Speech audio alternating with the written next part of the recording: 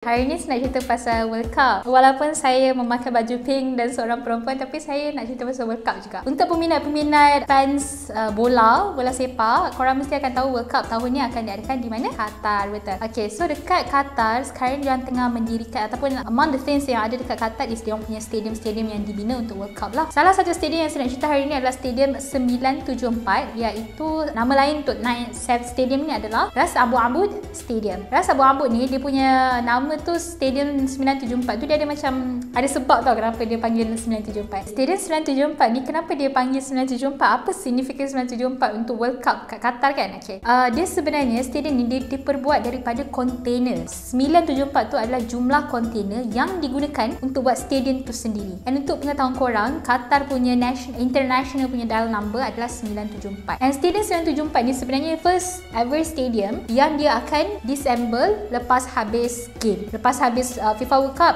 Qatar punya foundation dia dibuat uh, untuk memberikan kontainer-kontainer ni kepada kepada third world country lah. So kontainer-kontainer ni dibuka lah macam lepas habis game macam oh stadium tu terbengkalai, tak digunakan. Tak, dia akan disassemble balik segala kontainer yang digunakan untuk stadium tu dan diberikan kepada negara-negara third world countries. Itu adalah salah satu orang kata salah satu efforts lah yang digunakan oleh kerajaan Qatar untuk sustainable punya development dan untuk membantu negara-negara yang third world countries. Dan untuk mengetahui korang, Qatar Foundation ni sebenarnya sangat terkenal dengan uh, memberi bantuan kepada negara-negara Islam yang mundur yang sentiasa diorang sentiasa lah bagi bantuan apa semua. So this is part of diorang punya uh, mission jugalah untuk buat World Cup yang mana diorang boleh membantu lagi negara-negara third world countries. Untuk mengetahui korang juga selama ada World Cup jarang diorang buat World Cup dekat Middle Eastern countries. Okay. Middle Eastern countries ni dia terkenal dengan negara yang suhu dia panas. Tapi dekat Qatar nanti World Cup dia tak buat waktu musim panas. Dia akan buat waktu musim sejuk dia. So temperature dalam 20 degree Celsius macam tu 17 ke 20 degree Celsius macam tu. So